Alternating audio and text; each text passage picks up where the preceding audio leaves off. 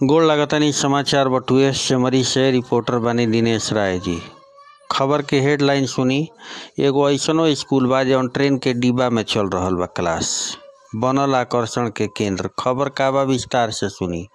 एक तरफ़ जहाँ शिक्षा विभाग नया नया कारनामा के लेके चर्चा में बनल रहेला तो ओजे दूसरा तरफ़ एगो विद्यालय ऐसन भी बा, जहाँ शिक्षक बच्चन के शिक्षा के प्रति आकर्षित करे के उद्देश्य से पूरा स्कूल के ही रेल के डिब्बा के शक्ल में तब्दील कर देले बानी। बक्सर जिला के उत्क्रमित उच्च विद्यालय खरहाटाण के प्रधानाध्यापक पूरा स्कूल भवन के ही रेल बोगी के तरह बनवैले बानी। ओजे स्कूल प्रबंधन द्वारा कईल गईल यह अनूठा पहल के आसपास के लोग के द्वारा तारीफ़ कईल जाता है।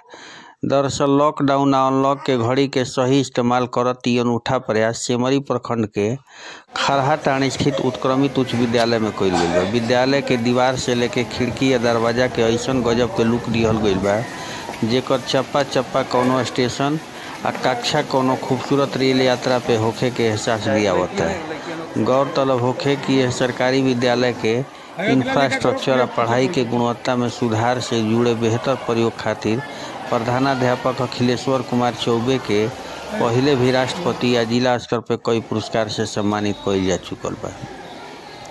बता दी कि यह प्रकार के प्रयोग रौरा देखला के बाद स्क्रीन पर ऐसन लागी जैसे रेल के बोगी ह, रेलवे स्टेशन ह। इतना खूबसूरती से बनावल गई विद्यालय। बच्चा भी काफ़ी संख्या में है विद्यालय में जुटता रहे काहे? काहे से कि उनका लागता कि हम प्लेटफार्म पर रोज जाता नहीं हो जब पढ़ाई करता नहीं इतना खूबसूरत पानी बजाओ बचाओ के स्लोगन दिहल बटुए जल जीवन हरियाली के स्लोगन दिहल बटुए।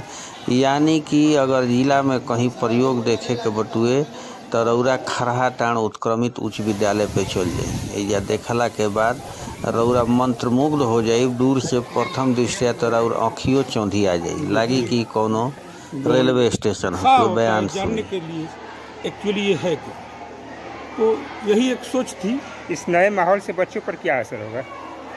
मुझे लगता है बच्चे अभी प्रेरित होंगे क्योंकि माहौल से मिजाज बदलता है तो निश्चय ही बच्चों पर सकारात्मक असर होगा। अभिभावक भी खुश होंगे अभिभावक भी बच्चों को प्रेरित करेंगे क्योंकि देखिए ये बहुत पहले से मान, माना जाता रहा है कि किसी भी राज्य का जो है वर्तमान उसकी सत्ता में और भविष्य उसके शिक्षण संस्थानों में दिखता है। अध्यापक होने के नाते ये हमारी ये हमारी नैतिक प्रतिबद्धता बनती है कि जो भी हमारे पास उपलब्ध संसाधन है उस संसाधन से हम अपने विद्यालय को विकसित करें और इसके लिए मैं विशेष रूप से धन्यवाद देना चाहूँगा अपने एस एस ए के डीपीओ श्री राजेंद्र चौधरी जी को जिन्होंने मुझे कुछ ट्रैक से अलग हटकर करने के लिए प्रेरित किया। सर ऐसी सोच आपको कहाँ से मिली? अध्यापक पुत्र हूँ विरासत में मिली। मेरे पिताजी भी अध्यापक रहे हैं। और इसको लेकर के सरकार की तरफ़ से कोई सहायता? सहायता नहीं वो चूँकि अनुदान मिलता रहता है। जैसे अभी हमारे विद्यालय को मिला था 2019-20 के लिए एक लाख रुपए तो अनुदान मिलता है तो उसके साथ एक गाइडलाइंस आता है कि उस पैसे से आपको क्या क्या करना है। तो चूँकि पहली बार अनुदान मिला था तो जो मुझे गाइडलाइंस मिला था, उसके अनुसार समरसेबुल करना था, वो मैंने समरसेबुल लगा दिया, तेरह नल लगा दिया। दूसरा करना था, बच्चों के लिए लाउड स्पीकर की व्यवस्था करना, ताकि चेतना सत्र को आकर्षित